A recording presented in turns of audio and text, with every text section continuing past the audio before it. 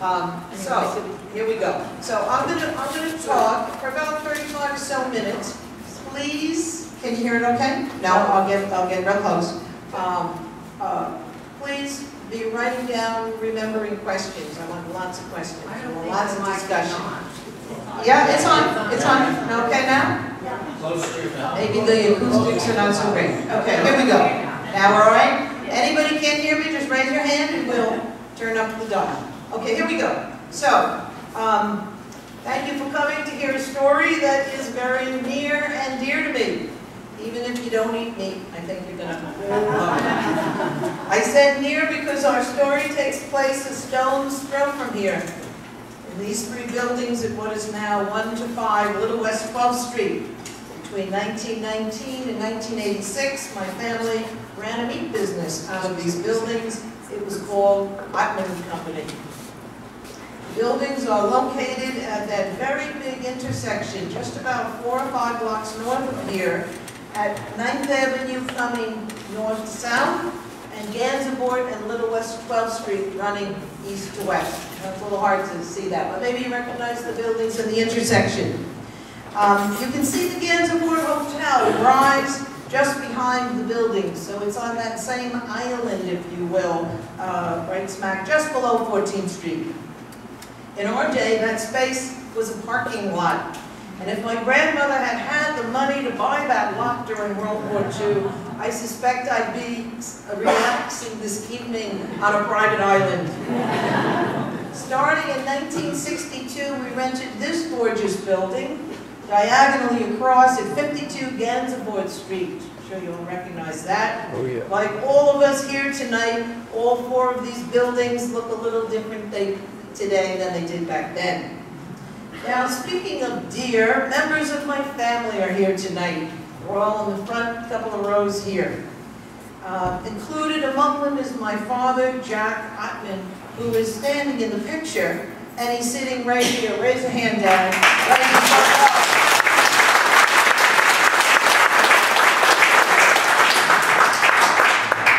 The whole Ottman clan is in town to celebrate Dad's 90th birthday later this month.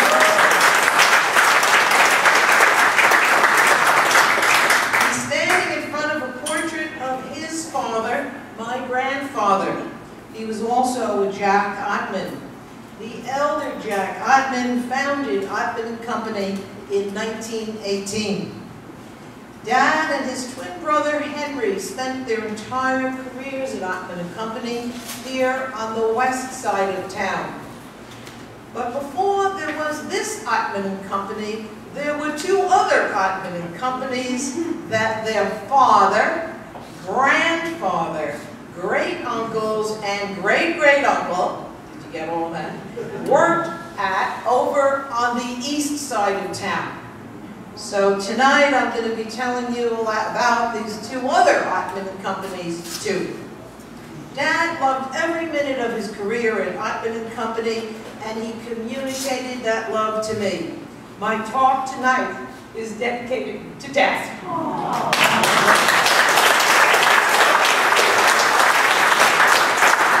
Here's a picture of Dad and me taken in the office in July of 1976. One of those lucky shots you find in the files.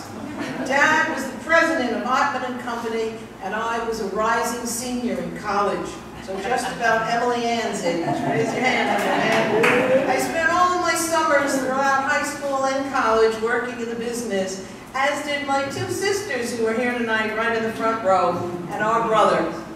I was endlessly fascinated by this business, and Dad patiently and happily answered my million and one questions each evening as we rode home in the car together up 8th Avenue in the 5 o'clock traffic.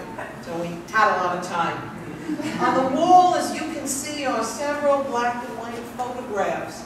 There were many photographs like these on the walls at Ottman and Company. We were very proud of our history. Many ways, Ottman and Company really defined our family.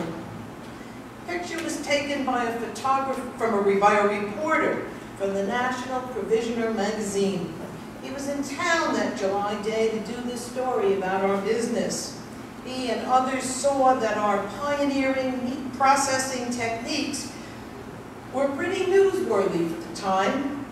So my goal tonight is to use the lens of my family's business to give you a better appreciation, as, as Matt said, of what went on in this so-called meatpacking district long before the restaurants, the cafes, and the galleries moved in. First, let's talk about this term, meatpacking district. Think somebody might think that's a little weird of a question, but New York City loves its flower, financial, and garment districts. But I suspect the term meatpacking district was coined by the media or maybe the real estate industry, but not by the people who actually worked here. We all refer to it simply as the market, and for good reason. Starting in 1879, the area that was bound by Gansevoort, Little West 12th Street, and West Streets, so directly across from us, was home to the Gansevoort Market. It was originally called the Farmers Market. Sound familiar?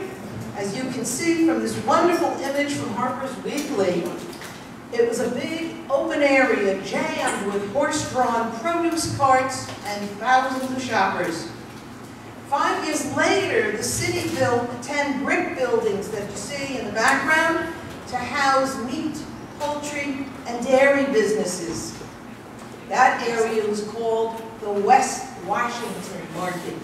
And if anyone is familiar with the Washington Market, we can discuss why this is called the West Washington Market about 20 blocks north. Dad was president of the West Washington Market Men's Association at one point. In its heyday around 1920, there were an estimated 150 to 250 different meat businesses in the West Washington market. Now, some of them were packers, the people who slaughtered the animals. Some of them were wholesalers who bought the meat from the packers. And others were retailers who bought the meat from the wholesalers, they do, and sold it to the general public. But increasingly, most of the meat businesses in the market were firms like ours. They eventually became known as meat purveyors. Everybody familiar with that term? Meat purveyors. Meat purveyors buy meat from the wholesalers. They cut it up into steaks, chops, or prepare it in other ways, and then sell it to hotels, restaurants, cruise ships, airlines, and other places that serve meat away from home. It's called the away from home market. In 1949, the city built the Gansevoort Market Meat Center, which still stands. It houses the few meat businesses who are still operating in the area.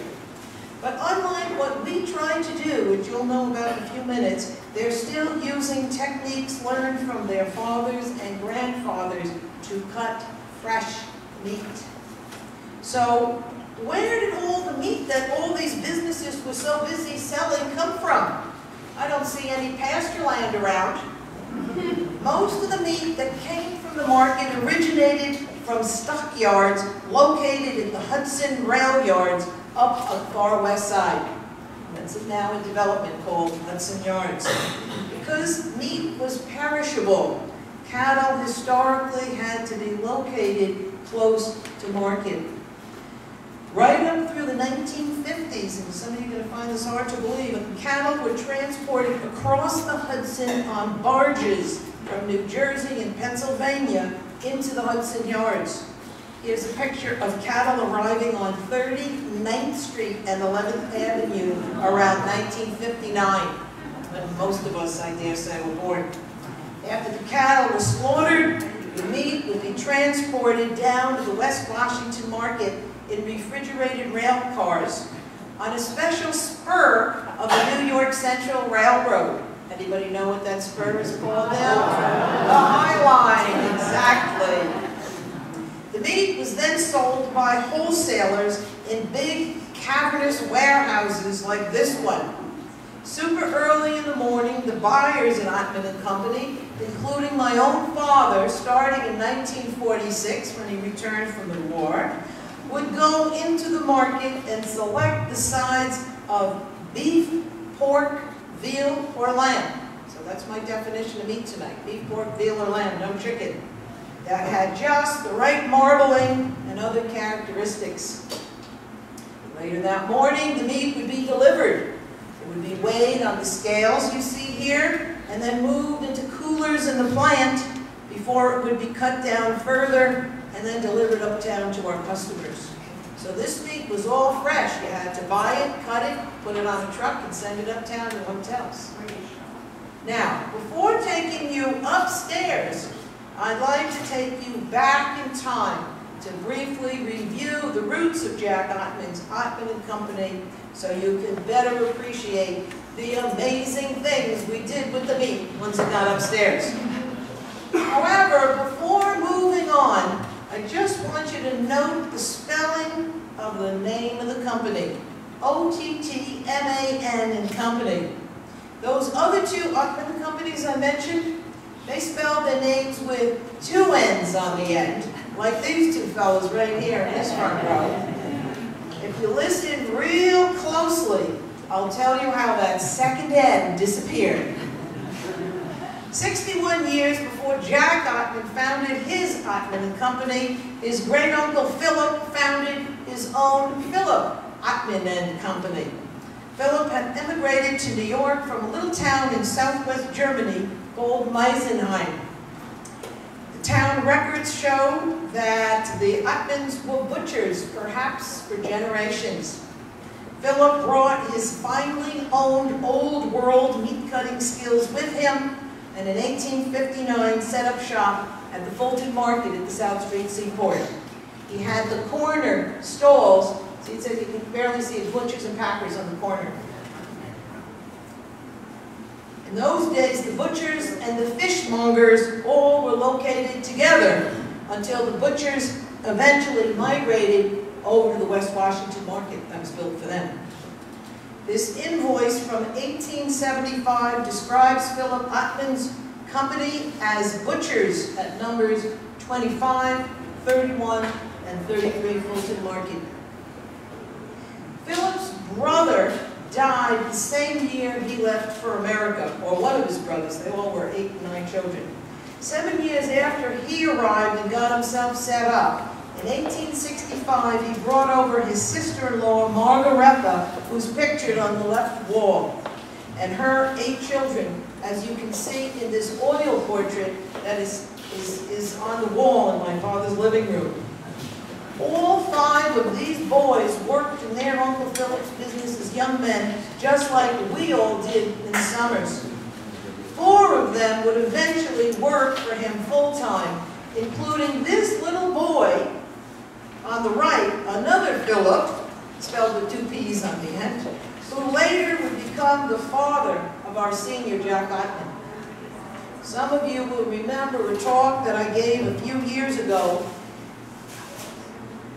saying that the fifth brother went on to print the famous Puck magazine. Eleven years later, in 1876, their Uncle Philip died very surprisingly one night, and his eldest nephew, William, hold that thought, his oldest nephew, Uncle Philip's uh, oldest nephew, Philip, the one reading, William, sorry, this is William Ottman, getting the guy, to get these guys, right? Um, took over the business and renamed it for himself. These two gentlemen in the second row have a father and a grandfather. They're direct descendants of. William Ottman. Among William and Company's customers is the Palatine Restaurant. One day they lucked out in buying 270 pounds of loins, chops, and smoked ham from Ottman for a grand total of $26.91.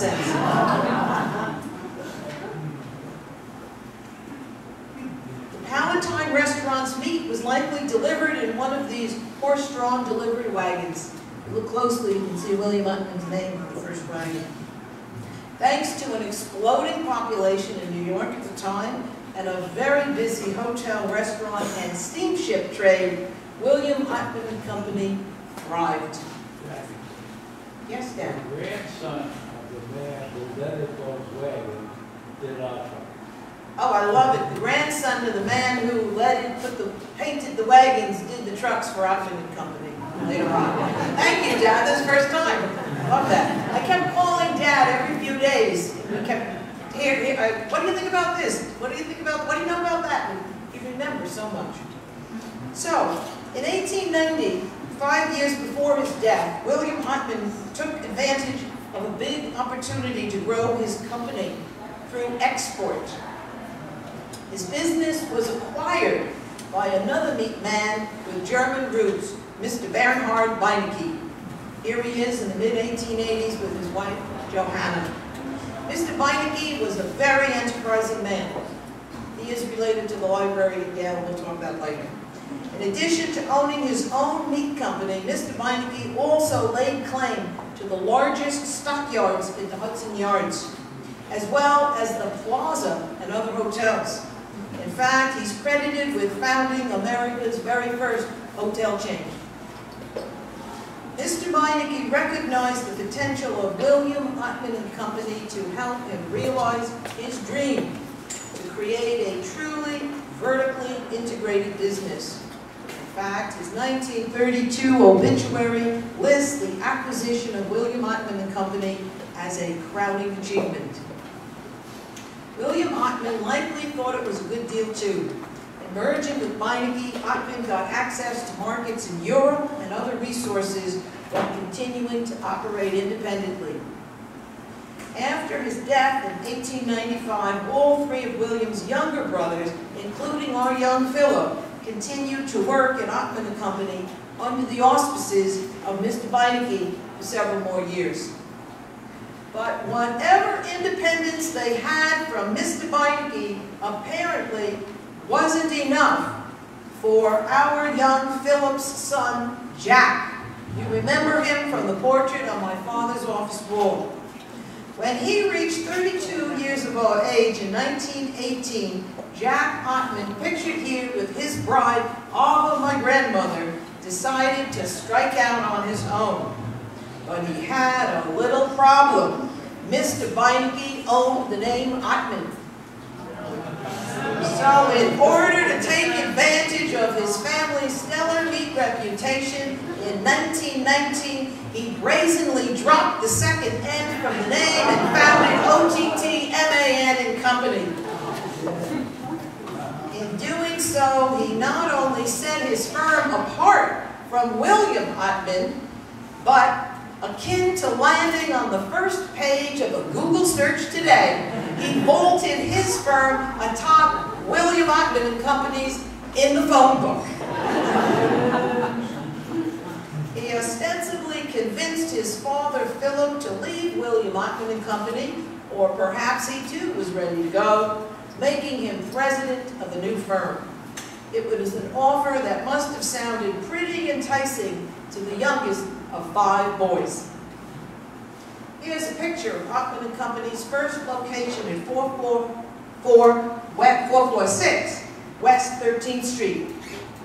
Jack is on the right, his father Philip is in the middle, and a man named Hoffman, spelled with two N's, is on the left. As an aside, I understand that butchers always wore straw boaters. Anybody know why? So that at any given time, they were at least two inches away from a swinging meat hook. The next year, Jack moved his new company into the largest of these three buildings, whose address at the time, as it was for us, was number 2 Ninth Avenue.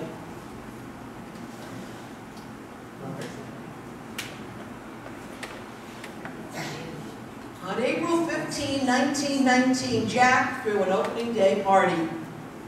Jack is in the back row on the far left, uh, standing to the left of that child.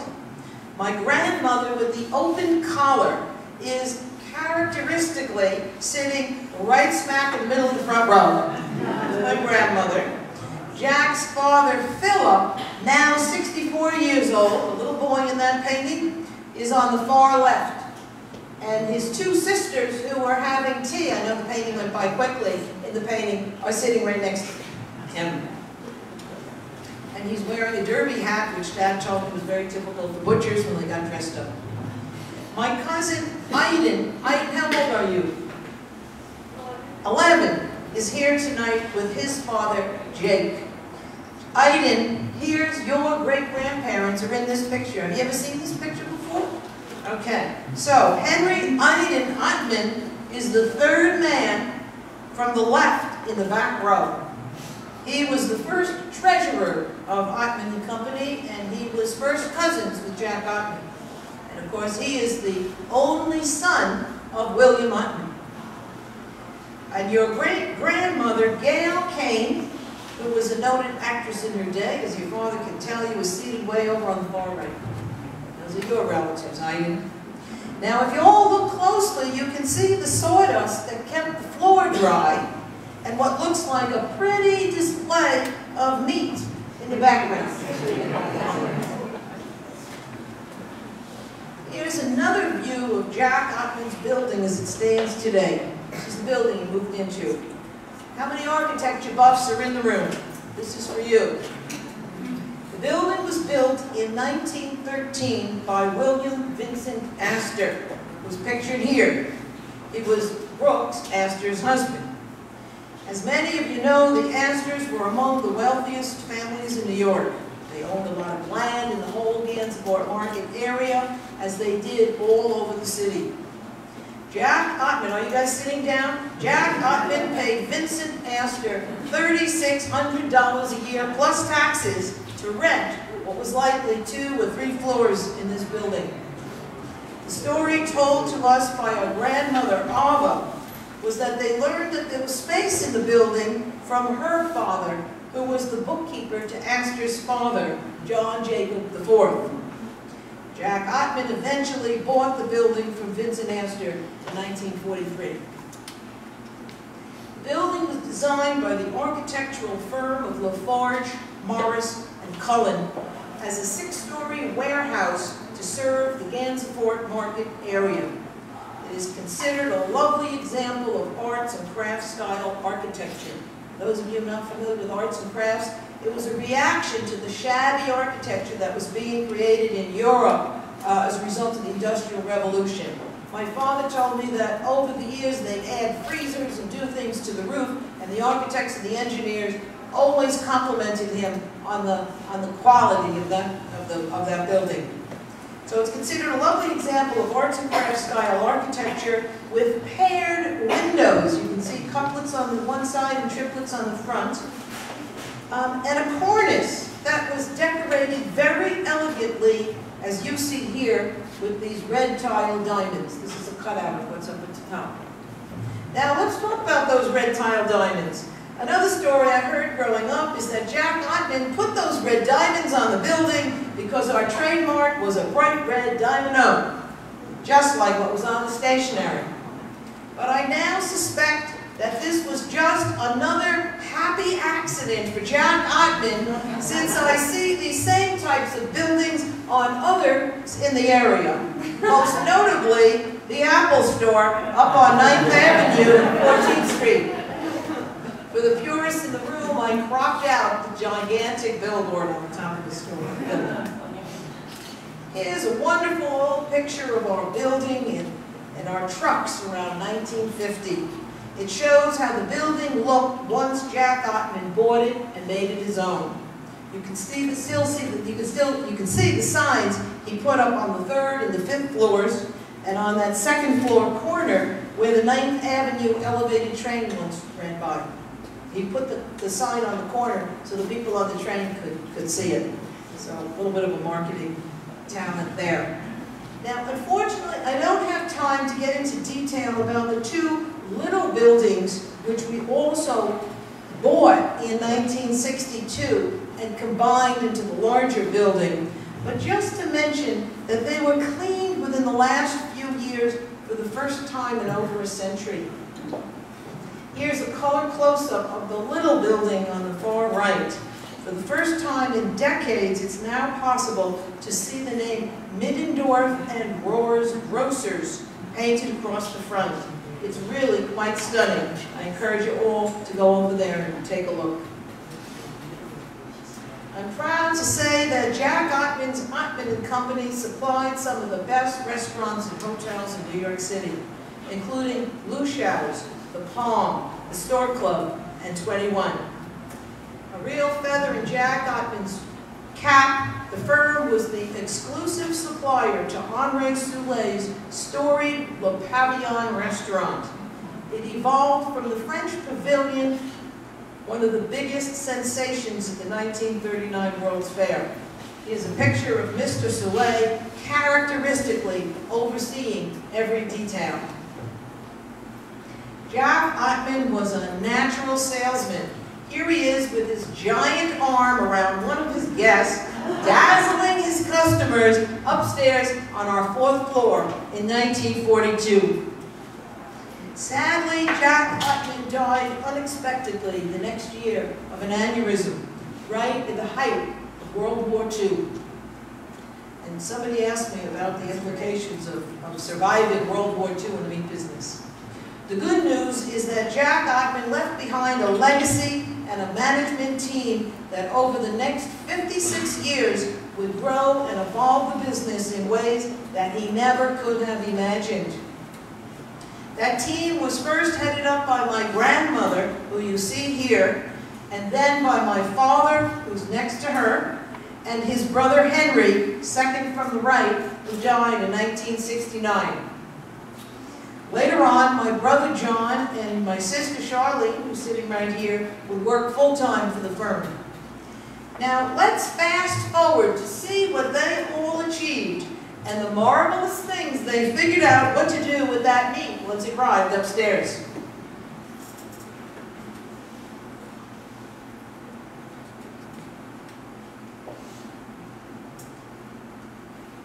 Okay, it looks like we have a little bit of a technical problem. So I am going to pass around this piece of paper that shows it's really the same three buildings, but it's a pastel and you'll see trucks running around the neighborhood and what have you. And first I will read it and then I will pass it along. Here's a pretend, here's a pastel of the three buildings and the big wide open streets out front in 1981. The painter put Dad and Charlene, who commissioned it, right in the middle of the hustle and bustle. right in the middle of the hustle and bustle that occurred all day long in our intersection. Ottman Company is at its height. It took in $15 million in revenues and employed 135 people. So a small business by today's standards, but with a big story to tell. Here you go, Mark. In telling you the story, I'll be referring back to that other story the reporter wrote once he got back to his desk in Chicago in 1976. Let's take a look. Now,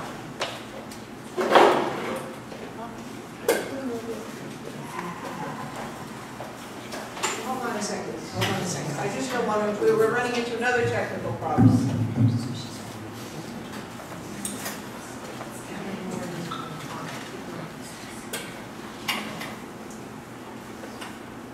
Okay. All right, we're going to keep going. Okay, so we want to go back to the picture of the beef. Where's the beef? okay. All right, we're, we're missing a picture of beef. No, keep going, go back a little bit. I don't know what's happening. One more, one back. Okay, so all right, this blank picture, soon I do my little rabbit impressions with the shadows. Um, yes, just picture a tenderloin of meat that's just sucked up into a plastic bag. All right, that's all it is. Red meat sucked up into a plastic bag. In the years after World War II, W.R. Grace and Company introduced CryoVac, a vacuum package that could ex significantly extend the shelf life of fresh meat. In the process, it helped to revolutionize the meat business. Cattle no longer had to be transported to stockyards by rail. The packers themselves could slaughter and cut the meat right where the cattle were raised, way out on the range. Fat, and bones stayed behind, allowing just the saleable meat to be transported to market in these airtight bags instead.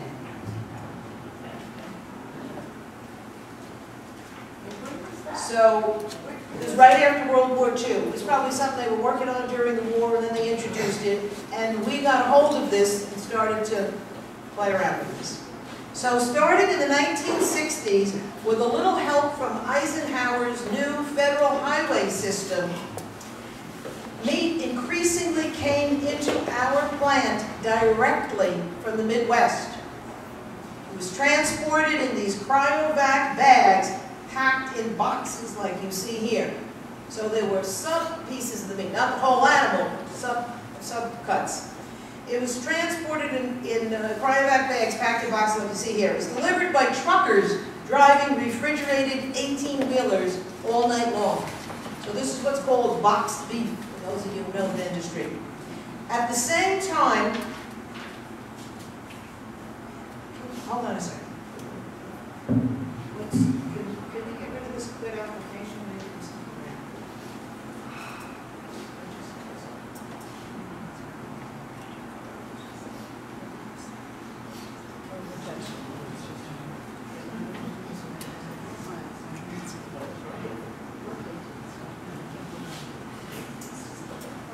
Okay. We're now going to imagine expert butchers all along the line of the conveyor belt. And the meat is coming by and they're, they're, they're, they're trimming the meat. Butchers on both sides of the conveyor belt. At the same time, the restaurants, hotels, and cruise ships found expert butchers in short supply.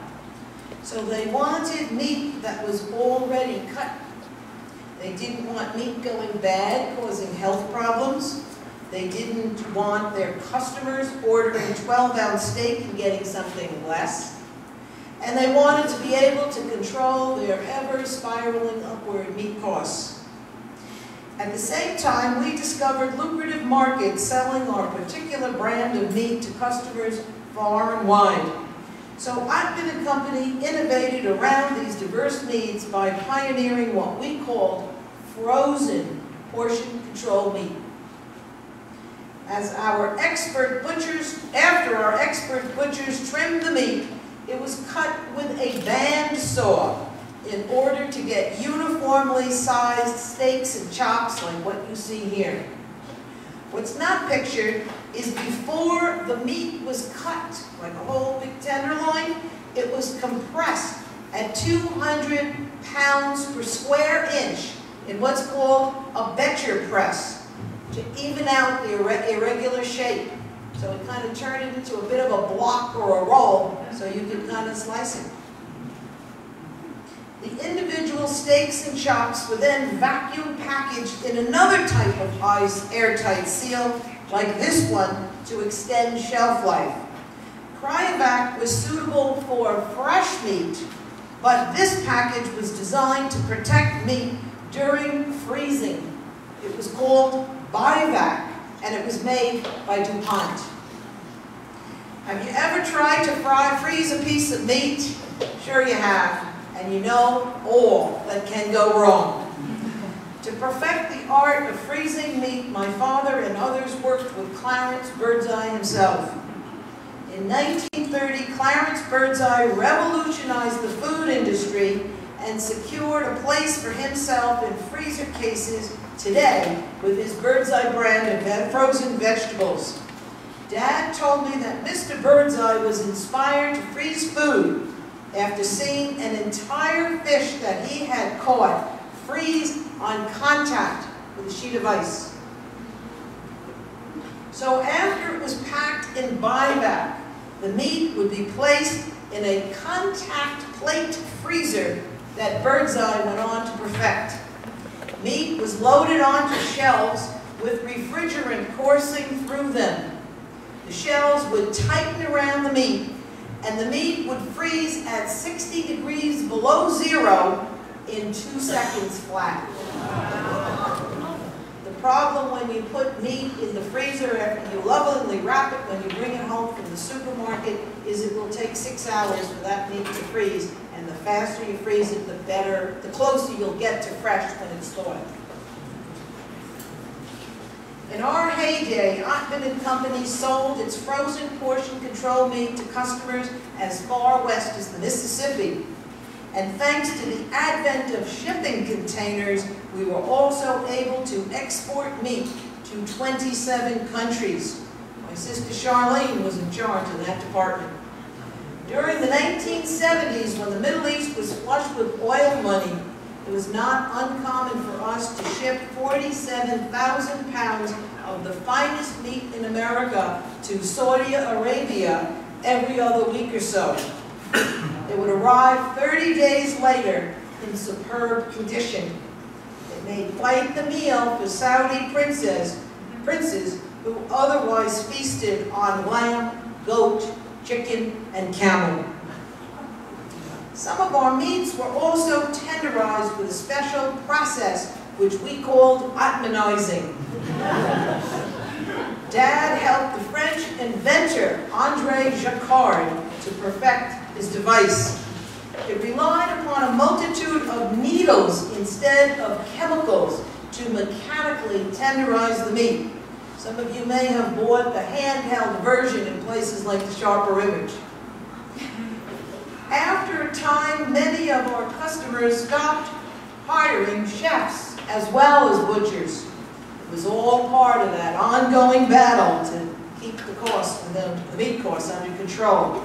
So Ottman Company pioneered a line called Chef Ready. It was composed of pre-cooked roasts like what you see here, packed in their own bag with a pop-up thermometer letting you know it was done. So anybody could cook this stuff. A final step, this is the best slide of all. A final step before heading out the door, all of Ottman & Company's meat went through a metal detector. It's a precaution we took in response to a phone call we received one day from our customer at American Airlines, informing us that a passenger in first class had found a bullet in his steak.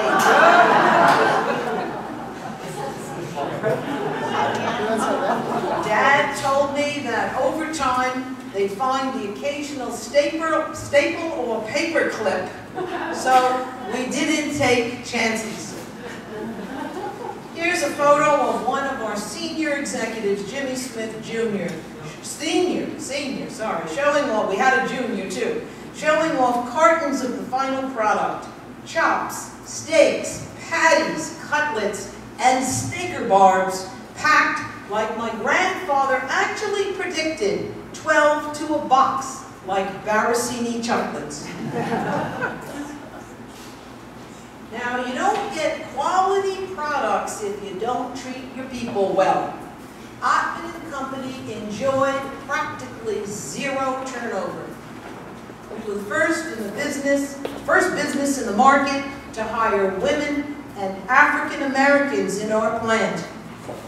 We were likely the first with a profit-sharing plan and paid vacations for all of our workers. Dad told me that people came to work feeling they were working for the Yankees the best. Why would they want to work for anyone else? Good stuff. In fact, we had multiple father and son teams and several employees who served 50 years, and we encouraged that. I'm wearing my father's 25th anniversary pin, which he gave to my mother. One last innovation. In the mid-1970s, my mother convinced my father to let her open a store on Madison Avenue. Mom's store was called VT. that was what did it for my father as soon as she came up with the name on an airplane propelled by the gourmet revolution that was just getting underway with pasta and cheese in those days. It got a lot of publicity, as you can imagine, but unfortunately, it wound up having us sell our meat directly to consumers in the wrong distribution channel. The rent was too high on Madison Avenue, even then, compared to the volume we got. Omaha Steaks and Allen Brothers had a better idea. Stick to mail order. Meanwhile, my brother had a different idea. Move the business to Worcester, Mass. John's goal was to create manufacturing efficiencies and increase production volume to achieve greater economies of scale. Over the next 13 years, John and his partner grew their business from 10 million to 100 million dollars. But 109 years after William Ottman and Company was acquired by Beinecke in 1999, a much larger national business acquired John's company to satisfy their own needs to increase scale.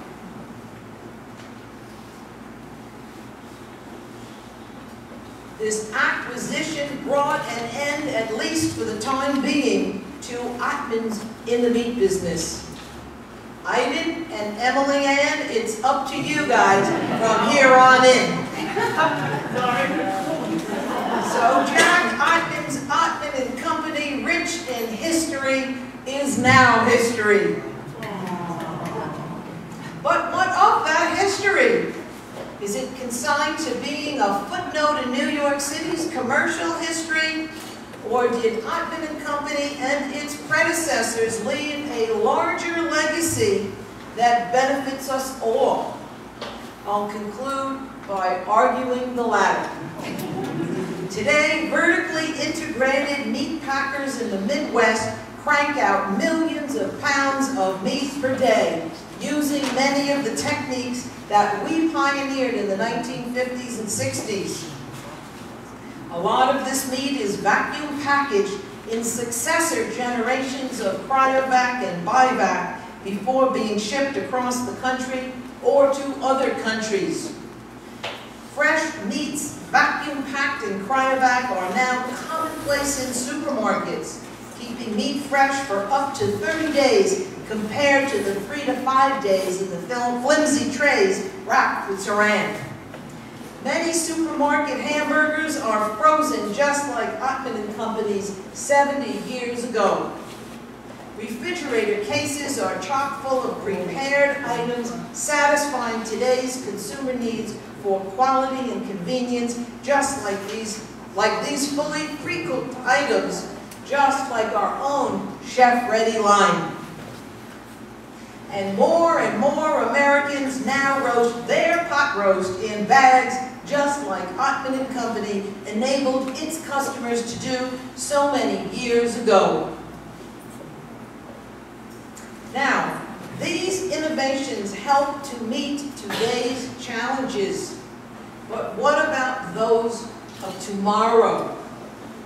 The UN projects that by 2050 there will be 9.6 billion mouths to feed on our planet. To make sure they get enough good quality protein, the meat and meat substitute industries will need to turn up the dial on innovation. From where will their inspiration come? Perhaps from Ottman. I had to end. Hold on. In telling, oh, this is a big ending we're leading up to. Perhaps from Ottman. In telling our story tonight, I hope the food industry will be inspired to find ways to feed generations to come by the pioneering work of five generations of Ottman and all the other families who worked with ours. The Smiths, Reardons, Gayetanis, Kesnicks, Vrazels, and countless others who worked at four different Ottman companies over 140 proud years. Business, as in life, is one continuous relay race through time.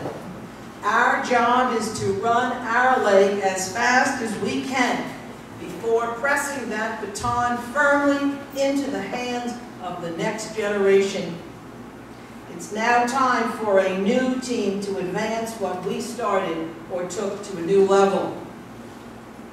Life moves on. A fancy brunch place illuminated with chandeliers now occupies what for us was an industrial meat freezer in our main building's ground floor. Dad and I went over there today. Upstairs, and we went upstairs, all throughout the building, the three buildings, a new generation of entrepreneurs now co-work where we once worked.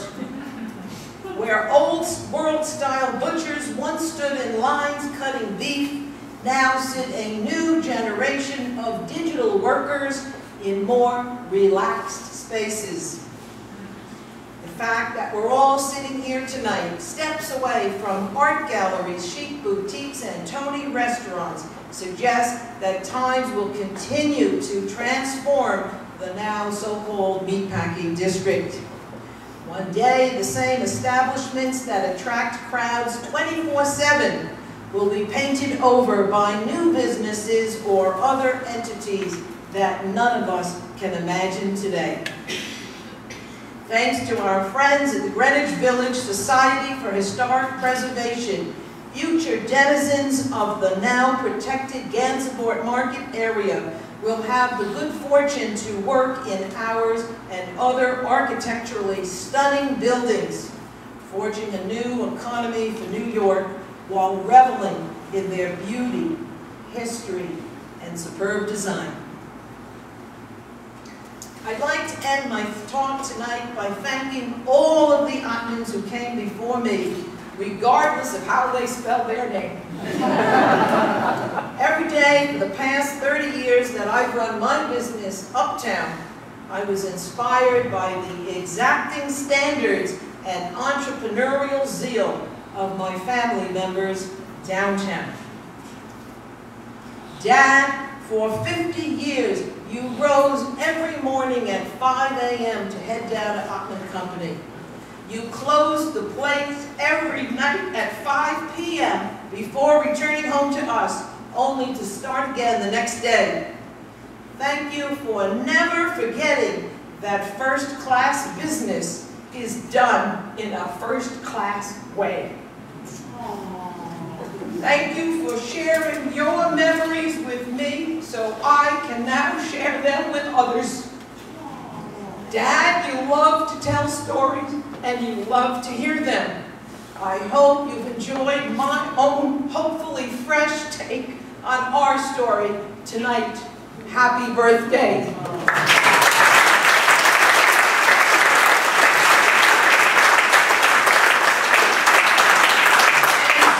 all of you, thank you very much for being here tonight in this place this time listening to our story. I hope to be able to return to this place with many of you to hear the stories that are now unfolding in Jack Ottman's beloved main building with the red diamonds on top when I'm 90. Thank you.